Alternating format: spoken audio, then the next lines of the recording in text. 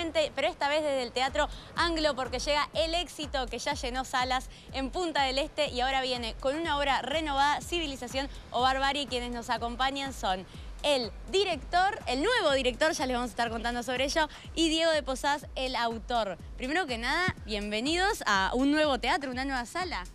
Muchísimas gracias por la bienvenida. ¿De qué trata la obra y cómo llegás a primero escribir el libro? Bueno, mira, es una obra, quinto libro que yo escribí, con un mensaje siempre el mismo, que es contra el centralismo que es el gran problema de este país. Es un problema a largo plazo, pero que lo está viviendo día a día la realidad uruguaya. Hoy el interior del país ha explotado porque ya no daba más de lo que es el centralismo y lo que es el crecimiento desmedido del Estado. lugar a movimientos espontáneos, como ustedes conocen, un solo Uruguay que es un poco la, expresión casi inconsciente de ese centralismo brutal que vive el Uruguay. Diego, ¿por qué la necesidad de contar la historia de Bernardo Berro? Bueno, mira, porque yo escribí cuatro libros que contenían la misma idea. Cuando llegué al cuarto era, era sobre ocho personajes típicos de, lo que era el interior del interior uruguayo y, me encontré ahí el personaje de Barrio. Empecé a profundizar y me llevé la gran sorpresa de que Berro hace 150 años estaba diciendo exactamente lo mismo que yo intentaba transmitir en, mis libros.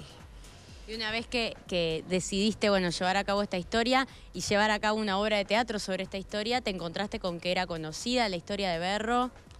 En absoluto, en absoluto, ¿no? Y él dejó muchas cosas escritas, muchísimas. Entonces yo resolví hacerlo en forma de teatro. Pues hacía un libro y tenía que escribirlo todo entre comillas. Digo, no, lo mejor es que hable el propio Berro, porque se expresaba muy bien, con mucha claridad. Y así fue que nació la forma de hacerlo en como teatro, ¿no? como esa solución. Vos recién me comentabas que como escritor tenés una manera muy particular de escribir, que las cosas como que las plasmás, pero que ya están hechas, digamos. Bueno, es una gran verdad que yo escuché una vez decir a, a Borges que él no inventaba nada, él captaba las cosas que estaban en el aire.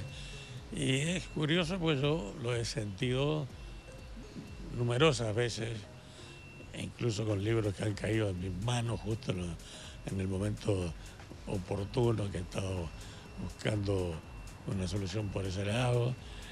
Y, la escritura misma, uno se sienta a escribir y, no, sabe cómo va a terminarse. Es muy cierto eso que decía Borges.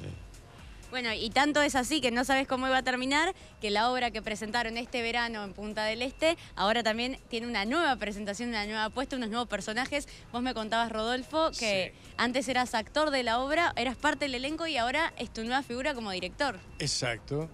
Y bueno, eh, de un personaje a un director.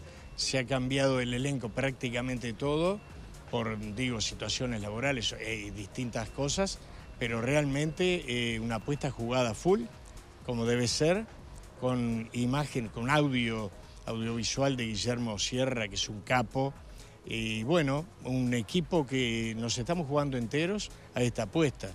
Eh, confiamos en el Anglo, en su producción también, y estamos jugados enteros a que, bueno, que la promo va a traer más allá de que mañana haya algo muy, muy popular en esta ciudad, pero hay hay gente para todo. Sin duda ninguna, el teatro, el teatro tiene su gente muy propia y le tenemos fe, seguramente los esperamos a todos para, para compartir un muy buen rato, tres actos, música en vivo, buenos actores, actrices de primera. Quiero pasarla bien, jugarnos la carne en el asador. ¿Cómo fue para vos encontrarte desde el otro lado, o sea, desde otro lugar con la obra, en cuanto a la vestimenta, a los vestuarios, a las expresiones? Y bueno, digo, experiencia ya como director tengo, o sea, ningún problema porque es simplemente, es como empezar de nuevo, es como empezar de nuevo, sin duda ninguna, reiniciar un camino que tiene derivaciones diferentes. Se han cambiado evidentemente muchas cosas, audiovisual, algo de música, los músicos, los músicos son los mismos, Fabián y Joaco, capos, guitarras, voces, dos músicos. Y, ¿Qué rol juega la música en vivo en la obra? Y la música justamente toca, primero, guitarra, campera, histórica, eh, voces con cantos que son alusivos a esa época y a situaciones exactas de ese momento. Eh, realmente juegan muy bien y la voz de Fabián Marquicio es un infierno. Bien, bien, bien, bien. Y Tenemos un inicio importante porque es con Artigas, sorpresivamente, las frases que dijo Artigas en sus últimos años en el Paraguay, que tienen relación directa con el el mensaje que da Berro y, con el mensaje que intentamos transmitir con esta obra. Muy interesante ese inicio con Artigas en el Paraguay. Va a sorprender. Hay que venir a verlo para entonces dejarse sorprender y sentirse también parte de esta época. Exacto. Y emocionarse, eh, ponerse furioso, de repente sentir ternura. Te puedo asegurar, Camila, que tiene todos los picos de emoción de diferentes, de diferentes cosas, que es lo que venimos a sentir al teatro.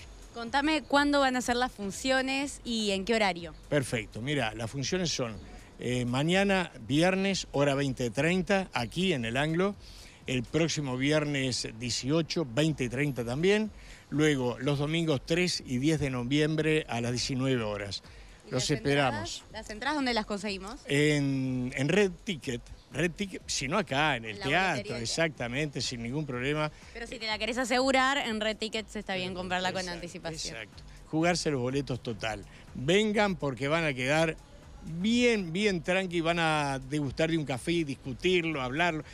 Te vamos a seguir a la historia. Perfecto, muchísimas gracias. No, te quería agregar que cumple las dos funciones la obra la función de transmitir un mensaje y lógicamente la función de ser un espectáculo que la gente viene a ver un espectáculo. Y entonces este, llenamos aquellos tres requisitos que decía Claudel que tenía que tener una obra de teatro que debía sumar el teatro, la música y, y el cine. Una combinación de las tres cosas que creo que se ha logrado muy bien acá. Perfecto, queda la invitación hecha entonces 11 y 18 de octubre, viernes aquí en Teatro Anglo y domingos 3 y 10 de noviembre. Perfecto. Gracias Camila. No, nada, gracias a ustedes. Seguimos con ustedes, chicos. Bárbaro, gracias Cami. Muy bien.